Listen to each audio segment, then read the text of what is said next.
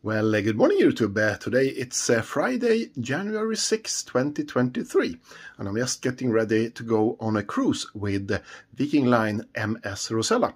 And uh, it's actually the last weekend that it is possible to cruise on MS Rosella because uh, she's been sold to a Greek company.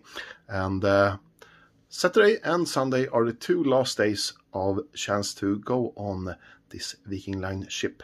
So, um, of course, I will do a video about it and uh, it will show up in a couple of days or weeks on my YouTube channel. So please uh, comment, like and subscribe and I'll see you soon again.